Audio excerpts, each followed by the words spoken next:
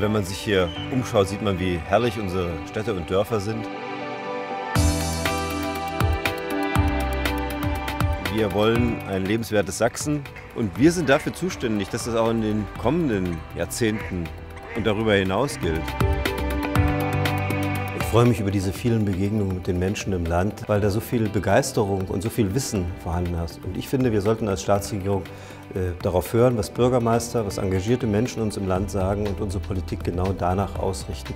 Es ist nicht so, dass eine Regierung oder ein Ministerpräsident immer weiß, wo es richtig ist und was in der Zukunft kommt. Wir müssen auf die Kraft der Regionen und der Menschen vertrauen. Wichtigste ist, dass wir miteinander im Gespräch sind und uns zuhören, dass wir uns ernst nehmen und wir als Regierung die Themen der Menschen aufnehmen und auch uns darum kümmern, die Probleme, die genannt werden, zu lösen. Sachsen sind unglaublich neugierig, sie interessieren sich äh, für das, was passiert.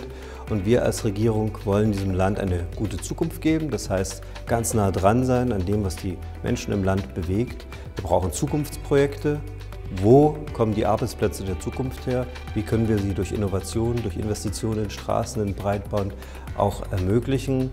Und das sind alles die Dinge, über die wir sprechen, aber natürlich auch, um den Zusammenhalt in der Gesellschaft zu stärken.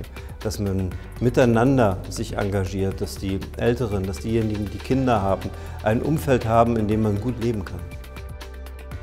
Wir dürfen nie vergessen, dass das, was wir auch als Staat äh, an Steuereinnahmen haben, zuerst hart erarbeitet wird von den Arbeitnehmerinnen und Arbeitnehmern im Land, aber eben auch von den Unternehmern, die sich hier äh, jeden Tag auch mit ihrem persönlichen Risiko einsetzen, Arbeitsplätze schaffen, Steuereinnahmen generieren. Und wir als Regierung sind Partner dieser fleißigen Menschen im Land. Wir wollen, dass äh, Sachsen wächst. Dazu brauchen wir auch Unternehmen, die erfolgreich am Markt sind.